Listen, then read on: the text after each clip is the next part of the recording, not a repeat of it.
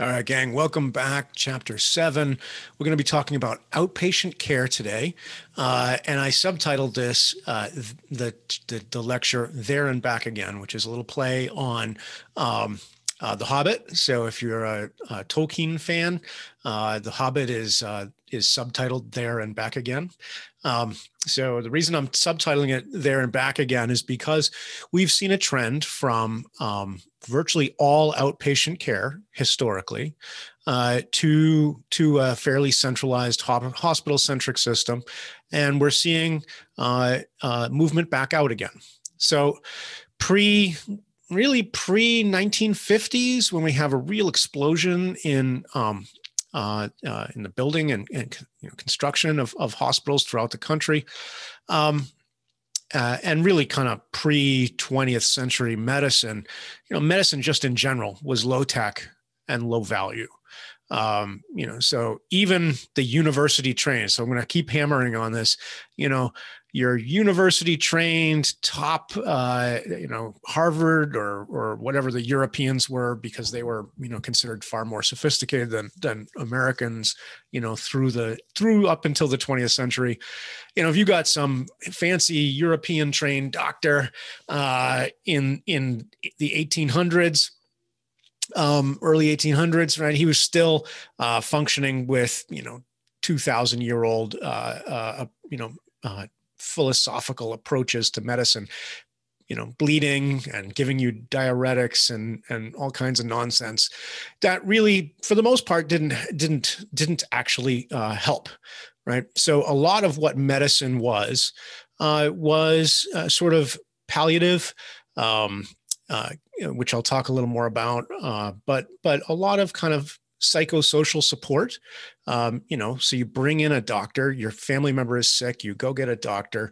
Um, this the doctor is a high status person in the community, so you're you're you know showing you're caring and loving for your for your family member, but the doctor really you know doesn't add a whole lot of value. So it's much it's as much about kind of you know uh, uh, uh, you know, medical doctors prior to you know the kind of mid mid 1800s, early 1900s really couldn't offer a lot of, of support and care um, because they didn't they had they were low tech and low value. Um, you know they uh, provided most of the care in the home. So you have kind of a picture here of you know per, of a doctor visiting patient in in their house.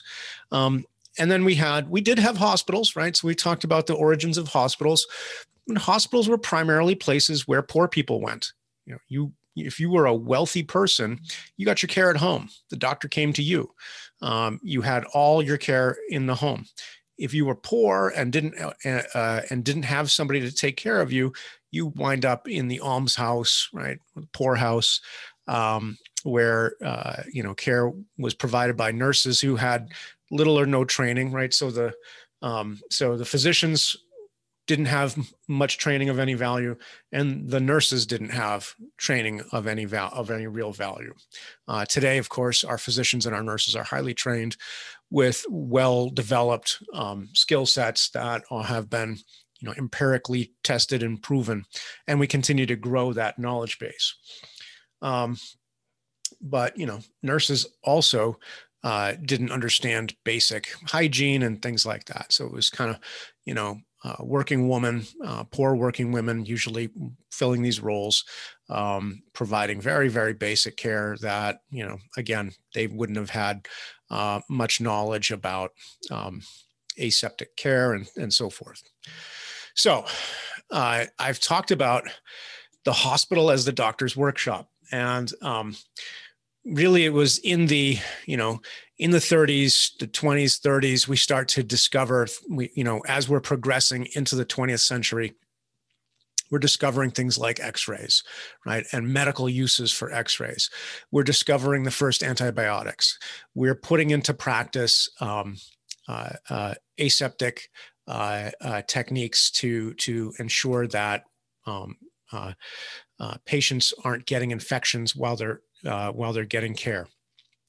We're we're introducing um, uh, anesthesia, right? So all these things, and and uh, uh, and they're expensive, right? So the equipment is expensive, and so as the equipment is is evolving um, uh, and coming about, it's hard for one doctor to own um, you know some of this equipment so it makes sense to have a communal place where the doctors can come and use the x-rays use the ors you know have and, and an or really is you know it's a it's a physical space right of course with with technology. Um and but but more importantly there's a trained team of nurses and an anesthesiologist and so forth that are all kind of centralized. And that's expensive to to for a single uh, provider to sustain. And so the hospital becomes kind of the nexus of technology right um, and it's and I like this concept. I always go I go back to the hospitalist doctor's workshop all the time in my kind of my own thinking about this. So that's why I keep bringing it to you. So you know, um, it's a shared workshop because the tools and teams are expensive to maintain on the outside. So you can kind of imagine in the 20th century, you know, uh, particularly as uh, the other piece of this is, of course, um, the invention of insurance, right? So, so medical care in the 20th century, the you know, at, from the 30s and onward, are beginning to become actually effective, right? Doctors can actually do stuff for you that that isn't going to make you even more sick, um, and so that that medical care starts to become valuable, right? It was you know historically low tech, low value. Medical care in the 20th century starts to become quite valuable. Um, and at the center of the system is really the hospital because it and it functions like i said like the doctor's workshop. It becomes a space for shared technology. So imaging um, pharmacy uh, uh, laboratory services right? Nursing support for um, the the wards, you know, the operating room, and importantly, you have an emergency department, um, where which is one of the entry points into the hospital. So what I've done is kind of built around this the physician practices, right? So we have our primary care physicians and our specialists operating around the hospital, sort of like a you know. Um, like a little solar system with the hospital at the center, like the sun. Um, and so you have primary care practices that refer patients to specialists primarily, right? So there so the way that specialists get patients is is typically from a referral from a primary care provider. So I've got these little lines drawn to the specialists, but also primary care providers um, historically and still do can admit patients to the hospital for higher level care. Um, uh, but they would also send the patients to the hospital for imaging studies, right? So, I'm going to send you over to the hospital, get an x ray or an MRI. Um, uh, uh, they might send them to the hospital to get lab labs done, right? Because there are uh, doctors' offices have some level of cap- capability, um, but it's usually quite limited in terms of like laboratory uh, ability uh, or ability to, to do laboratory work. So they would ha- rely on the hospital lab. So this is this big kind of, like I said, nexus of, of technology um, that's shared by the community. So the physician, the primary care physicians would both refer to specialists as well as directly to the hospital the heavy users of the hospital are going to be your specialists, right? So your specialists think again, um, surgeons, right? Orthopedic surgeon, general surgeon, right? So something wrong with your your belly, you get seen by a general surgeon. Uh, having bowel issues, general surgeon, think that. Break your leg, orthopedic surgeon, right? Um, and then all the other specialties that we've talked about in previous right, uh, uh, chapters um, that rely heavily on technology um, and and and that complementary function of technology. So specialists have a heavier, I drew this heavier arrow for the specialists to indicate that they have a, they're much more reliant on the hospital. Right? A general surgeon is not able to really practice unless she's got access to an OR and to um, a facility where where patient where her patients can recover. Um, and all of this is paid for critically by insurance right? Because back when it was low tech and low value it was cheap. Um, you know uh, when the doctor really couldn't do anything for you didn't have much technology so it was a cheap thing to get done. Uh, as the technology advances kind of it, it it's kind of advances together. The ability to finance um, the ability to finance care is critical uh, for the evolution of the care the care is not going to, you know, the technology is not going to be brought to commercial application unless somebody is going to be able to pay to use it, right? So they, when we discover a new technology like you know, the X-ray, right? When we discover, oh wow, hey, we could, you know, do this, this, uh, you know, um, expose you to X-rays, and if we put a, a photographic plate behind you, uh, we get a picture of your bones. Um, uh, deploying that and, and, and having it diffused through the system requires that there's got to be some means by which providers can make money from from uh, doing that. And so there's a profit motive that drives all of this kind of technological innovation um, because somebody's got to pay for it. And so uh, as treatment got better it also became more expensive. And so we have this simultaneous evolution of the medical technology as well as the ability and means by which to pay for it. So you could think of the hospital. So this is, you know, uh, so I, I'm a kid of the 80s, right? I came, I was your age in the uh, late 80s, early 90s. And so, you know, I had um, I still think of of music the way that I used to buy it when I was a kid, which was mostly in in the form of of albums and then eventually CDs. So I had a whole collection of of uh, vinyl records, right? Uh, and then I and then eventually got into CDs when when that technology came about and so you'd buy a you know you'd buy an album it's got 10 songs on it two of them are the, the you know but you're really only buying it for two songs uh, that you like and you're lucky if you get a third song off that album right? Hospitals are kind of the same way like you think of a hospital as like a like a album or a cd um, you're buying a whole package uh, so you've got operating rooms associated equipment you know and all the staff. You've got nursing care for for post-operative care. So, uh, so you go in, you have your surgery, and then you stay right for care afterwards. Um, uh, so you know the surgeon does does their thing, and then you come out. And back in the day, right, not that far back, like in my lifetime, um, you know, most surgeon most surgeries were, you know, if they were going in to fix a hernia, they cut a big hole in your belly uh, so that they could look inside and, and work. Um, and that required a fairly lengthy stay afterwards because you had a big hole in your belly. Um, uh, and and it required nurses to care for you after the fact. So a hospital, one of the critical things that a hospital provides is this safe space to for patients to recover from uh, uh, from surgical uh, interventions.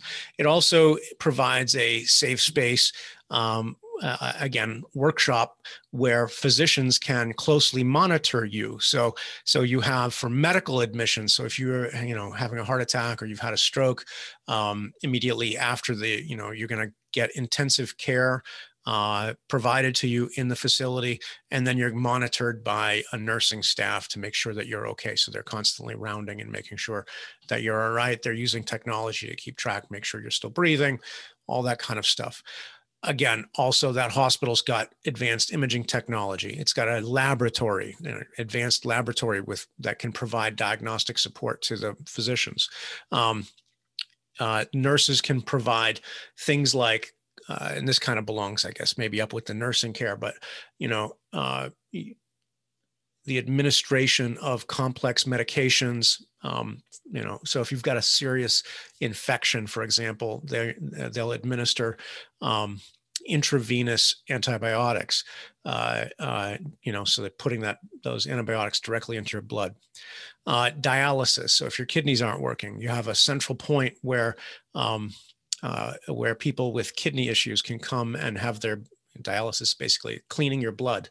Um, and then other specialized technology that is too expensive for any one physician um, to to to uh, have in their practice. And so the hospital provides it and then at, and provides kind of this economy of scale right so they they they buy the equipment and then lots of physicians share using it and it becomes affordable in that way so a hospital you can think of back in the day and you can still think of it now as like a like a collection. It's like an album eh, or a portfolio right? So there's a bunch of stuff under the roof of one organization that's shared by the physicians in the community.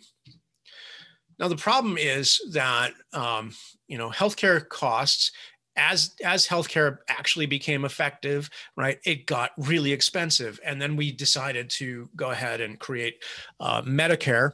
Um, and in 1965, Medicare uh, cost uh, cost the taxpayers 3.6 billion. By 1982, it was up to 84.2 billion. Um, and at that time, in 1982, 67% of Medicare spend, right? So 67% of that 84 billion was spent on inpatient care, meaning you were you were admitted to a hospital. Uh, the other 23 uh, 33% is was outpatient which is the subject of this particular lecture but you can see this explosion right in how much healthcare is costs and we've talked quite a bit about that but it was in 1982 Right? It didn't take them, you know, it didn't take the government all that long to realize, ooh, wow, we have bought a big bill, right? And so they started to work out, well, what are we going to do to fix this? Um, so what did they decide to do? Well, in um, prior to 82, so we talked about this in the finance chapter. Prior to 1982, hospitals were, ba- were reimbursed generally based on a cost plus basis, right? So to refresh, under cost plus, um, you uh, the longer you stayed the more they could charge right? Because the more it cost them to take care of you they just got a, a top off based on the total amount that they that they spent. So if it was 5% right i think i use this example if it's a $100 cost and they got cost plus they'd get say 5% on top. So they would get $5 right in in um, $105 in revenue uh, for for a hundred dollar bill, right? So the incentive there was to make the cost as big as possible. Um, in 1983, and there were some controls on there. I'm, I'm they got audited regularly to to by Medicare to to you know prove that what you were doing was necessary, but still the incentive was uh, to keep patients as long as you could, uh, to do as much as you could justify because it just fattened up your bills. Um, in 1983, Congress passed um, uh, uh, changes to the Medicare plan that implemented the prospective payment system, which we've also talked about in the financing chapter. But just to refresh again, fixed it's a fixed price um, uh, based on a diagnostic related group. So if you come in with you know a stroke diagnosis, there's a fixed dollar amount based on the diagnosis that the physician puts in your chart. Um, right says you've had a stroke or whatever the you know and there'll be a code associated with it puts that in the chart that generates a reimbursement to the hospital um, and because it's fixed the ho- it incentivized the hospital to start looking for ways to shorten stays and this happened overnight, right? Um, hospitals began to to to look for ways to shorten stays. Why a shorter stay? Because it costs less. If I'm getting a fixed payment, then my incentive, right? So if I'm saying I'm going to pay you $100 for this work, and whatever money you have left over after you pay for all your supplies and your people uh, and your manpower is your profit. Well, if it costs you you know, right now it's costing you $90. Your incentive would be how can I squeeze a little, you know, how can I squeeze those costs? Because if it costs me 90, I take I get $100 in revenue, $90 in costs, I get I make a profit of $10. But if I can squeeze my expenses and get them down to say $80, then I get $100 in revenue, $80 in expenses, $20 in profit, right? So hospitals are run by very smart people whatever else you might think about hospital administrators, they're not dumb. Um, and uh, and their response immediately was to start working with the physicians and the nurses to say, okay, number one thing we need to do is shorten stays because it's expensive to have people in the hospital. And so they started working on that. Um, and then they started and then the physicians started looking at ways that they could do procedures that would shorten stays. And so um, and then in this process, they began to emphasize outpatient ambulatory services because the reimbursement was no longer supporting um, uh, lengthy inpatient utilization. So, one example of, of innovations that dramatically reduced uh, stays was laparoscopic surgery. So, I've got a couple of pictures of surgeons using uh, laparoscopic technique. What these are is a um, uh, is a they've got a tube with a camera on it that they stick inside. You know, they make a small incision, stick these um, uh, tubes into your to your belly that have um, uh, give the surgeon the ability to uh, see. Right, so there's a camera on the end of the stick, and then there are tools that they're using to you know uh, actually perform the surgery. Uh, so you can see like that scissor thing allows the surgeon to you know be moving uh, uh, an attachment around inside your belly. The main thing here is he's not making a big cut you know down the middle of your belly that he probably used to you know for this procedure given where all the um, uh, tubes are being inserted probably would have been a great big gash down the middle of your you know from your breastbone down to your belly button uh, and and propped you open, right? Cranked you open so that they could reach in and do the surgery. Now they're doing it, um, you know, doing it through these little little sticks, right? Tubes. Um, uh, and what's amazing here is because you don't have to be cut wide open first of all you're far less likely to get an infection because there's there's only those little incisions for the germs to get in so that's one thing uh, two things. Then the second thing is you don't have that great big wound that has to heal before you can go home, right? Um, and so what this does, what this creates is a is a whole new idea of minimally minimally invasive surgery. Um, and it speeds up recovery dramatically. So we can take, you know, gallbladder surgery used to be, if you go in and to take out a gallbladder, it used to be like a week long stay. Now I think it's like an overnight uh, or maybe an outpatient. I'm not sure. I, I should probably check that. Um, but I believe it's like, you know, unless you've got serious complications, you're in and out of there. Whereas it used to be, you know, you'd be there for a week.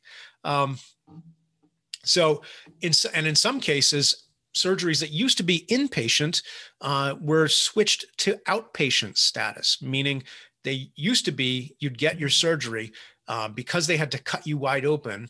Um, uh, you would have to have you would have to stay in the hospital for days or maybe even weeks to recover.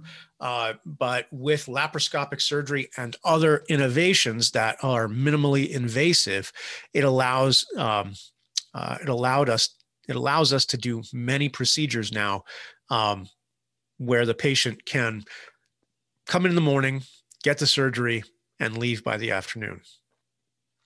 And that's a, that creates an incredible revolution in surgical care, um, and it also enables you know hospitals to to reduce lengths of stay.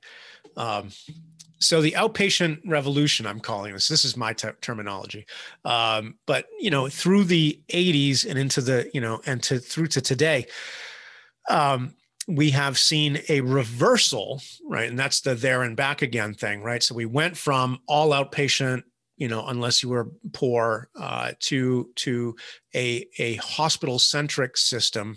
And now the um, costs uh, and the technologies have gotten the technologies have gotten so good and the costs are falling of the you know costs of equipment are falling relative to the reimbursement. And so things are starting to move out of the hospital. So if you don't need inpatient services for example do you really need a hospital? And the answer is in a lot of cases no right? Um, uh, so so you do these minimally invasive procedures um, and now you can do them on an outpatient basis. So the ambulatory surgery center, like the uh, uh, Surgery Center of Oklahoma that you you listen to Dr. Keith Smith talk about, is an example of an innovation that has happened since kind of the the change to PPS, right? And so it's this, you know, I'm an economist, so I I think about this, you know, all the time.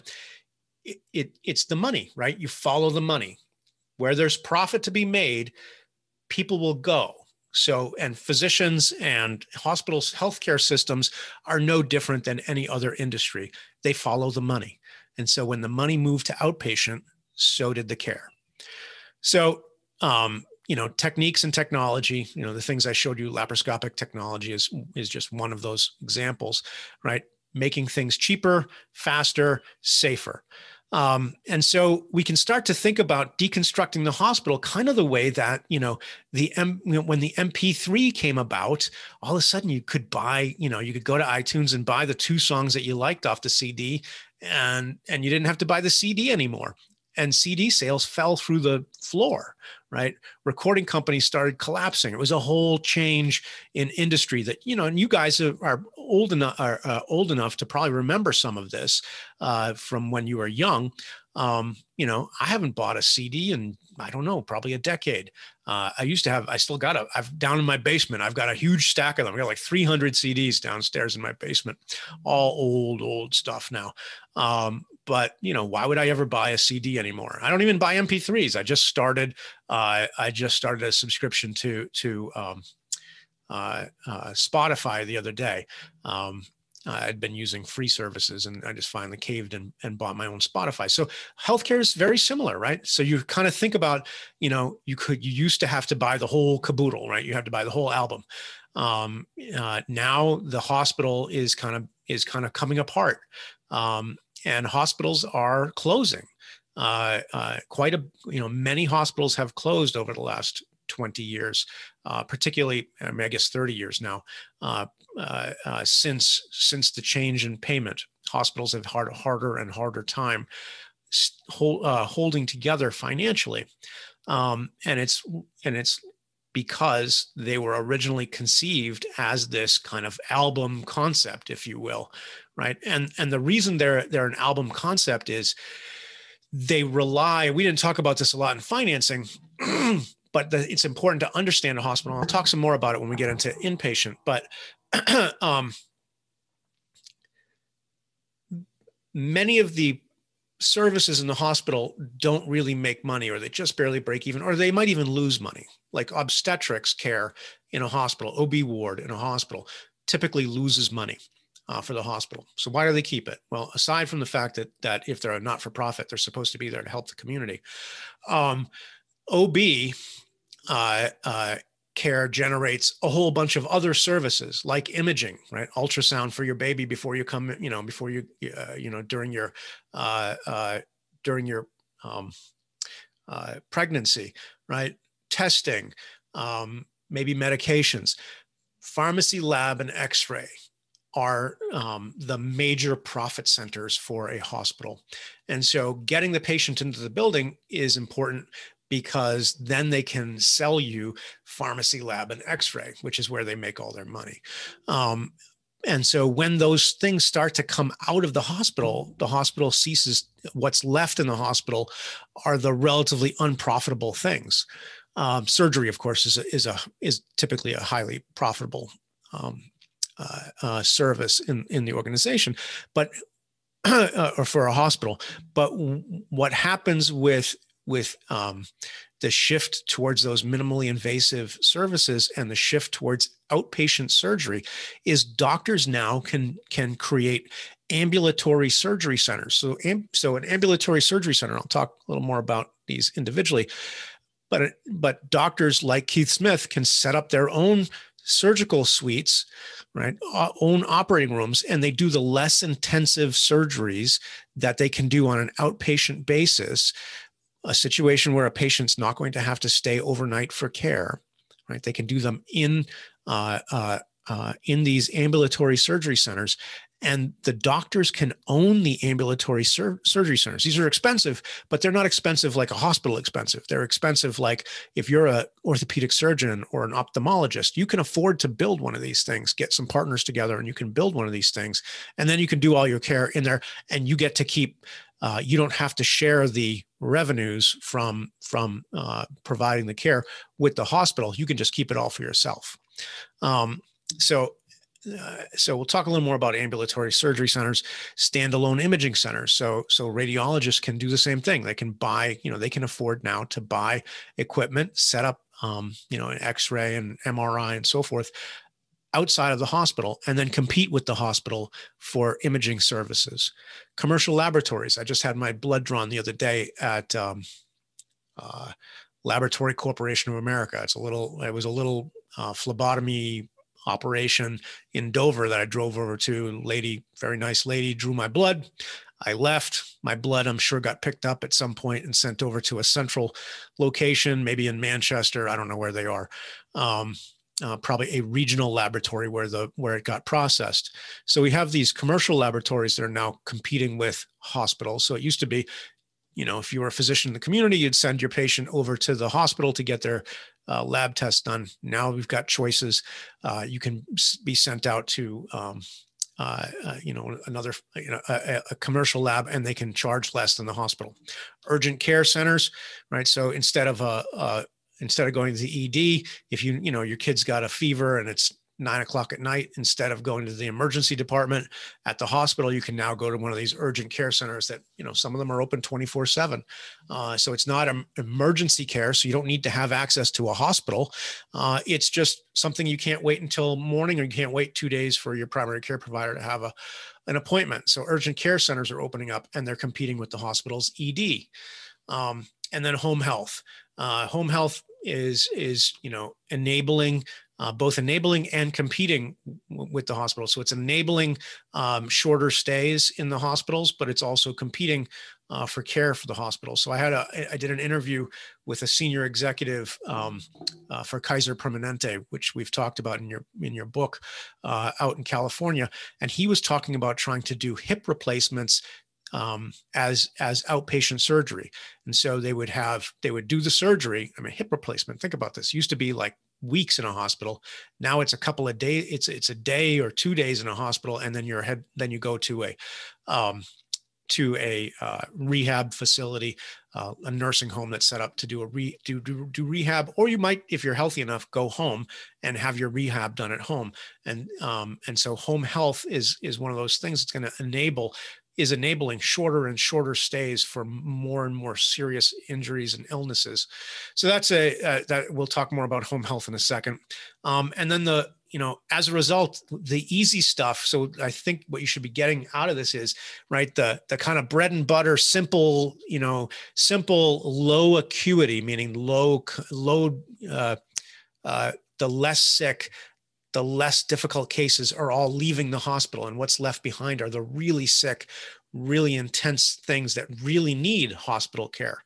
Um, and as a result the ability to shift costs decreases. So remember i was talking about how you could move like you could have provide ob services at a loss because you can cover those those with radiology and laboratory. But if your radiology and your laboratory businesses are leaving the hospital, then you have less profit to cover down on the areas where you're losing money. So this is a problem for the the hospital and it's kind of you know hospitals are having the same kind of struggle that record companies had back in the you know late 90s early 2000s when mp3s came online so what does this look like so i took the same diagram right the hospital uh, uh, the hospital is shrinking right? Its its footprint in the community is shrinking in the in the healthcare system is shrinking. Uh, less is being done there but more acute things are being done there. So that so it's still an absolutely necessary part of our health system. But what we see now are urgent care centers ambulatory surgery centers dialysis centers imaging centers standalone emergency departments. So if you're uh, if you're in um, you know, uh, if you drive up uh, um, uh, from Durham up to Dover and you're on 108, right? Portsmouth Regional just built a, a standalone emergency department um, uh, uh, in in Dover, right in Wentworth Douglass's backyard.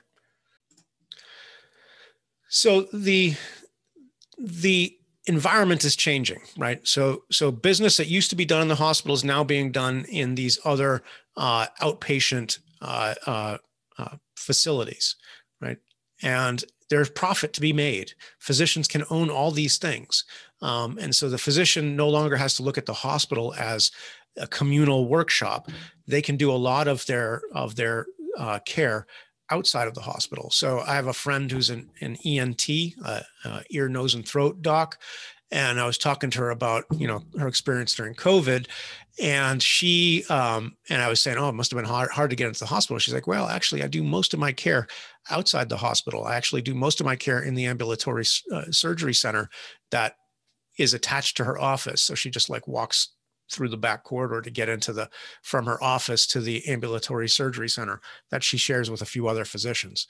Um, so you know, so that's that's the reality. Is a lot of surgeons now are working uh, are able to do most of their care uh, in ambulatory surgery centers. Now she still has to occasionally do more serious surgeries um, uh, in the hospital because you know she's an ENT, so she gets into airway stuff, um, and that's one of the things that will keep you in a hospital is if you're at risk of not being able, if your if your airways are at risk, you are uh, more likely to be admitted because they'll need to you, they need that close monitoring because if something goes wrong with your ability to breathe uh, they don't have very much time to fix that so this is what the world is looking like today, right? The hospital is kind of being deconstructed.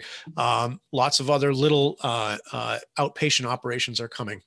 So let's talk now about kind of levels of care and how does this fit into the outpatient. So primary care, this is what we typically think of. Did you see your doctor, right? So your primary care doc provides wellness care, um, uh, comprehensive you know so primary care is supposed to be longitudinal right meaning it goes over time so you you go back you see your primary care doc over and over again they're able to focus on your well-being your overall wellness um, and then they help coordinate uh, care with higher levels of care so more specialized levels of care which you tend to have episodic relationships with, right? So you have an ongoing longitudinal relationship with your primary care provider.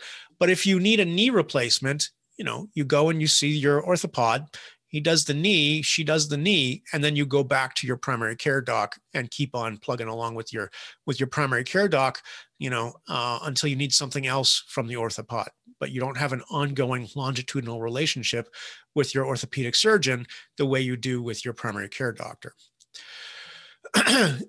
Importantly, they provide this care coordination function, which should, uh, in an ideal world, um, allows them to uh, organize and orchestrate your care with uh, higher level providers. So secondary care, you're starting you're, is where you start to hit your specialists, right? This is it should be occasional, um, unless you have some sort of chronic illness, in which case you might have a, a longitudinal relationship with a particular kind of specialist. Um, uh, but this is where you get your specialist care, right? So some examples, obstetrics, joint repair, replacement surgery, right? These are kind of bread and butter surgeries, uh, and they may either be outpatient or inpatient. So what we've been talking about with like the ambulatory surgery center, you can get a knee replacement on an outpatient basis. Um, higher level than secondary care is tertiary care. This is complex, usually usually involves some inpatient care. Uh, definitely things like trauma. So some examples: trauma, right? If you're in a major car accident, um, uh, you'd go to a trauma center. Um, if you have a baby uh, that has serious health issues, uh, you'd wind up in a in a neonatal intensive care unit, a NICU. Um, those are examples of tertiary care. A new category of even higher level care uh, is being referred to now as quaternary care. I always have a hard time saying that quaternary care, and this is kind of your your super experiment, you know, it's your experimental, super specialized things like organ transplants um, and experimental treatments. So, just focusing on primary care for a second, I just want to say a few more words about primary care because that is so central to outpatient care. But not all outpatient care, hopefully, we've made clear by now, is primary care, right? So, there's a lot of specialty care that can be provided. Um, uh, on an outpatient basis. But primary care, it's holistic, right? It's focused on wellness. Ideally, it's the point of entry for you to, to access the healthcare system. Um, so you should have, you know, the when you are sick or or or are injured, ideally you'd be able to access, you know, care through your primary care uh, provider first, and then your primary care provider performs this um, gatekeeping and referral process. So the primary care provider has a better idea of what you might need from a specialist. And so the primary care provider talk to you and be like, all right, these things I can handle for you. You know, I can order you some Motrin or whatever. But you know what? I really I I, I can't diagnose what's wrong with your you know your hip. I'm going to send you to a specialist, a hip specialist, right? Um, you know, uh, or or maybe you know a, a, rheumatologist or something else, right? So the so the the primary care provider has a better understanding uh, of the complexity of all the specialty care and what could be done out there. And so the idea is to keep you at the lowest level possible of care. You don't want to go to a super specialist if you don't actually need to go to a super specialist. First of all, because it's expensive. And second of all, one of the things I like to, you know, that that I have learned and I, there's definitely some truth to it is surgeons like to cut, right? uh, medical doctors like to give you medicine. Um, you know, me, uh, uh, internal medicine doctors like to give you medicine. Everybody likes, you know, everybody, all these specialists are like hammers and you look like nails to them, right? So they want to do whatever they do. That's not to say that it just they're typically going to err in the direction of oh i can i know i can do this thing for you so you want to interact with specialists as little as possible um, uh, and so the primary care provider is the person that's going to kind of keep you uh, in the loop uh, and and at the appropriate level. Uh, so supply uh, under managed care, the primary care provider has has become a gatekeeper, meaning they they give you permission to go to see a specialist. So it's not just that they're kind of evaluating what you need to go do. It is also um, under most managed care plans, you have to get a pre-authorization through your um, uh, uh, uh, through your primary care provider saying, yes, uh, Bonica, you can go see an orthopedic physician instead of you know. Uh, in, in, order to do that, I have to see my primary care provider first. Um, so the physicians that work in this field like we've talked about family medicine internal medicine pediatrics and then you have a lot of mid-levels and there's a growing presence of mid-levels so family nurse practitioners F- fnps and physician assistants right? So there's there's a increasing presence of these mid-levels in primary care and there's lots of evidence that they are perfectly good at providing um, primary care. Uh, uh, my primary care provider is a nurse practitioner uh, and I've had PAs and nurse practitioners much of my adult life because the military um, led the way in uh, the utilization of mid levels. Um, you know, so uh, we were already, and in fact, PAs, I think, if I'm not mistaken, uh, really kind of grow out of the military health system uh, and have really kind of taken hold in the in the um, in the civilian sector. Uh, and the military used them as physician extenders, um, and so it you know it's cheaper um, and, and and effective care. So we talked a little bit about ambulatory surgery centers. So the example, uh, you know, the what we listened to that first week, Surgery Center of Oklahoma is an example of an ambulatory surgery center, right? Uh, you get outpatient surgery there. It's surgery that doesn't require an overnight stay. Typically, if you know, uh, so it's you're going to be your less complex procedures. Um, uh, this lowers the cost of getting the care because hospitals are expensive. Um, they're expensive to build, they're expensive to maintain. They have a whole complex level of, of uh, you know, they have to be prepared to provide the highest levels of care. Whereas an ambulatory surgery center says we're not we're, we're not even going to take the case if if it's too high a level, um, and you know, follow the money. These things can be owned by by physicians, so surgeons uh, frequently invest in um, uh, uh, ambulatory surgery centers now.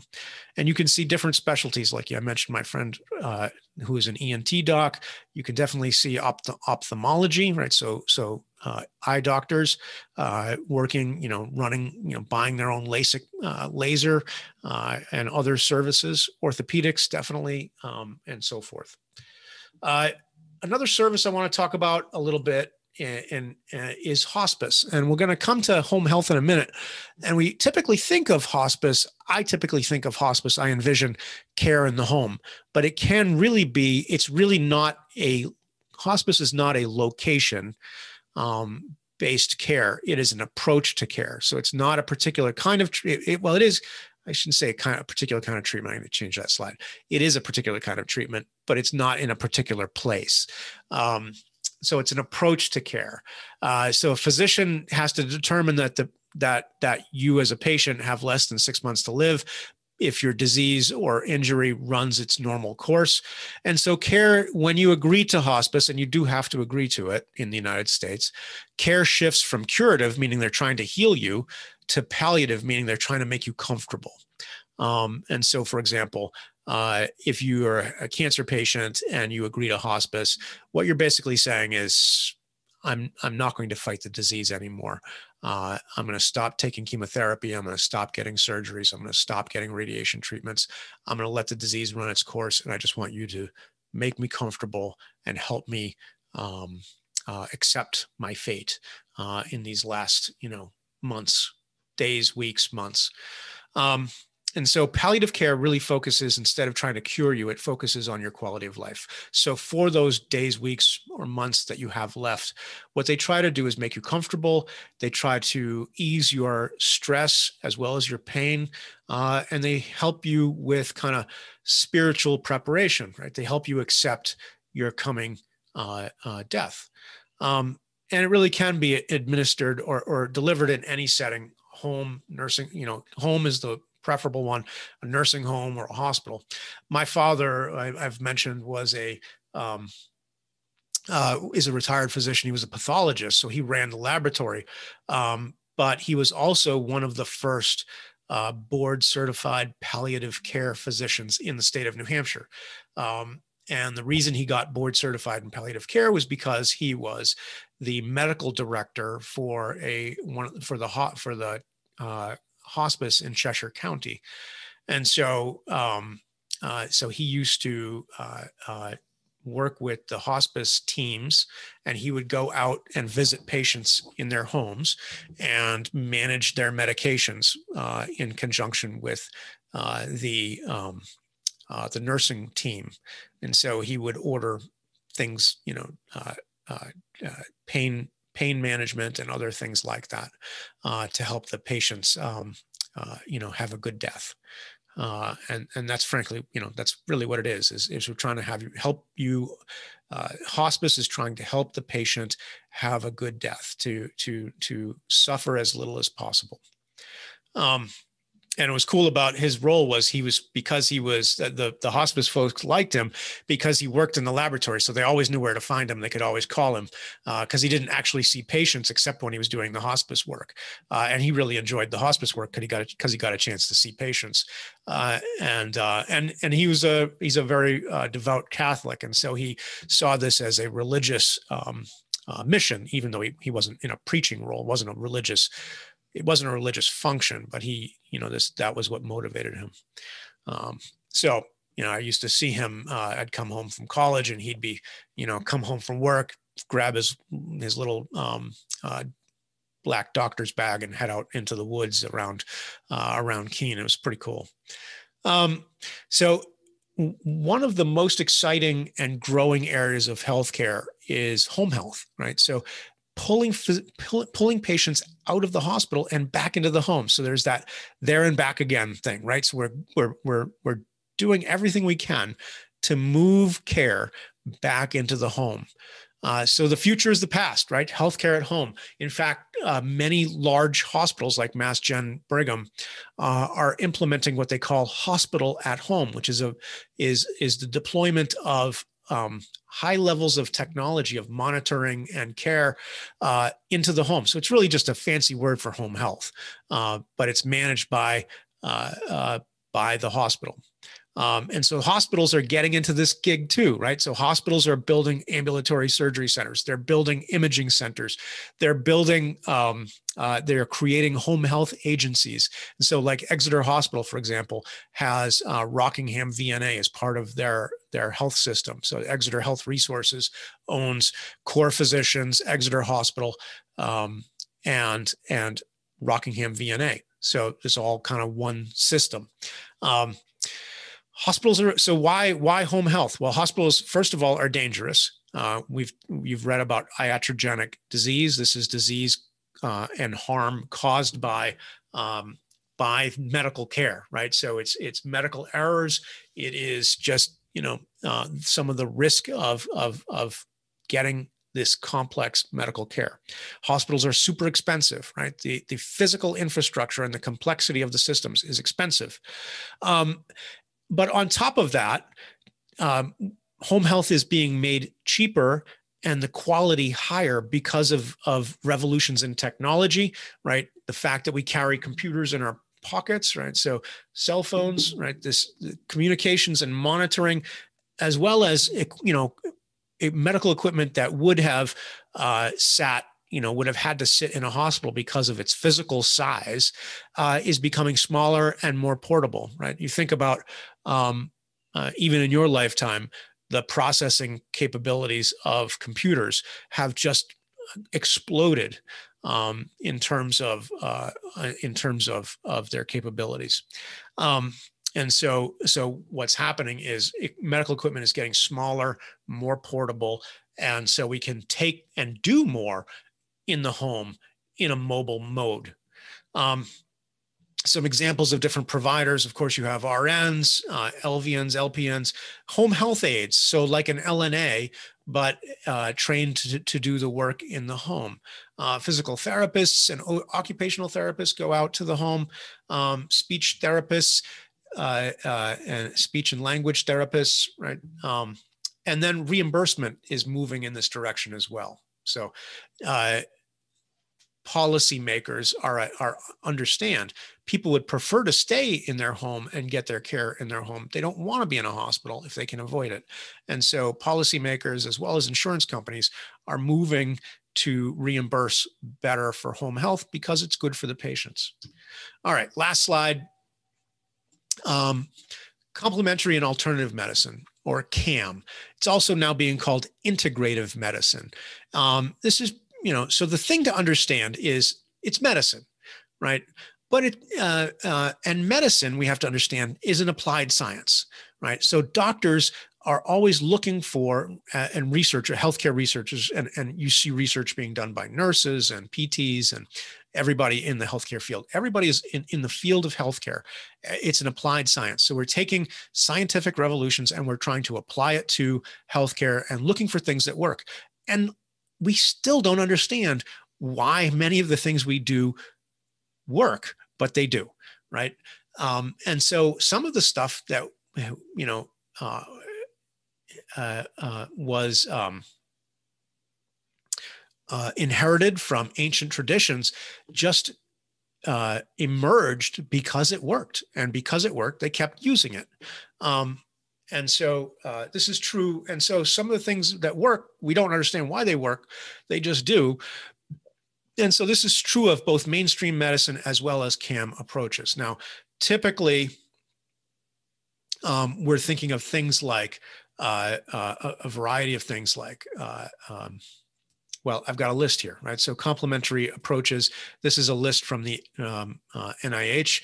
Uh, so we have kind of broad categories of nutritional, um, psychological, physical, uh, and and combinations of of kind of the above. So, you know, when I was a kid, uh, anybody who meditated was kind of a weirdo, right? But today, you know, all the cool um, uh, executives, you know, all the cool uh, um, uh, tech executives are bragging about how they're you know they're on um, headspace or or these other meditation apps. So like that's a thing everybody's doing now. And when i was your age people had been like you're a weirdo if you're meditating. Um, uh, but you know meditation is critical for controlling stress and stress is a critical component to to wellness right? Chronic stress breaks down the immune system uh, and leaves individuals more vulnerable. Um, and you know, one of the interesting things about about stress uh, is is it materializes and shows itself uh, as particularly acute stress shows itself in different ways culturally. Um, so this is I've had conversations a lot of um, I've taught a lot of physicians uh, over the years in in different courses that I teach, and I chat with them uh, occasionally, and, and and and cultural differences, particularly around stress, are kind of kind of humorous and and but also challenging. So in the United States, for example, and I'm going to be these are super generalizations because it's definitely not true across the board. But but if you talk to enough physicians, they will they will tell you uh, this is true. So in the U.S. Uh, serious, you know, acute stress often manifests itself as as a really bad headache, right? As a migraine. In Japan, acute stress shows up as a stomach ache. Um, and so you you know if you're if you're in the U.S. and you've got an acute headache, um, you know if you go to see the doctor, they could wind up treating you for your symptoms uh, and maybe checking you out for say stroke um, because you're because you're claiming to have this incredible headache um, when in fact really all you have is is acute stress. Um, you know, Japan, if a Japanese patient comes in and is complaining of stomach pains, you know, we could be ordering, you know, a doctor might be ordering a bunch of tests, maybe an endoscopy where they stick a tube, a camera down your throat to look around, when in fact it's just, you know, it's just acute stress. Um, uh, uh, I, I, a lot of, um, a lot of young soldiers marry, uh, go to Korea. Uh, we have we have a lot of soldiers in Korea. We have we used to we have fewer now than we used to, but um, and they go over there and they get married to young uh, Korean uh, women. They bring them back to the United States and they get seen in military facilities. I had a physician, uh, uh, uh student of mine who's now a friend, who was telling me he used to treat a lot of of young Korean women, and one of the ways that young young Korean women express extreme stress is dizziness, and he would wind up having to um, refer them for um, uh, uh CT scans, which is a of, of, the brain, uh, because they were presenting with with um, symptoms that the norm for treatment would be a CT scan. He, he, but he was, you know, knowing the patient, saying, okay, this person is a you know a Korean um, uh, Korean descent. Uh, culturally this is how they express stress but i'm going to ha- i have to order the the the ct scan anyway um, because uh, because uh, uh, that's the standard of care. Uh, even though he was 90% sure 99% sure that that the patient didn't actually have those illnesses. So stress is is a really interesting problem. It's kind of i find those cultural comparisons kind of funny. Um, but challenging. And the and there's some really interesting literature on on stress and how it how it it leads to uh, um, you know chronic stress can lead to a lot of chronic illnesses, heart disease, cancer, and so forth. So complementary approaches um, can help, uh, particularly uh, I, the way I see this, particularly is is to reduce chronic stress, uh, but they can actually have real, you know, uh, they they have real impact. So uh, acupuncture is one of the ones that I always was very suspicious of, um, just because it's so culturally foreign to me. Um, uh, but in recent years, um, they uh, uh, physical therapy is and, and, and anesthesiology are, are studying and using acupuncture techniques um, uh, now, and they're and they have a. Of course, they they changed the name to dry needling to make it sound more scientific, um, but they're using it for pain control. And again, we don't really know why it works. It just does, and that's medicine. A lot of times we just don't know. We don't know why things work. They just do. And so, if you're a scientist, which is what our you know our medical profession is science based. If you're a real scientist, you're going to be open minded to possible alternatives from what is your kind of mainstream approach, um, recognizing that that alternative medicines may not alternative practices and complementary practices may not look familiar to you but if they work they're good. Um, and so so cam is becoming more you're seeing more of it. Um, you're seeing physicians opening up to other uh, approaches. Um, recognizing that you know if if nothing else if they can help if it can help control stress it can improve a patient's well-being. All right so that is it for outpatient care. I haven't covered all the material in this chapter. I'm going to leave that to you to do. Um, but uh, uh, uh, but hopefully it gave you a good uh, cross section of, of some, some interesting concepts.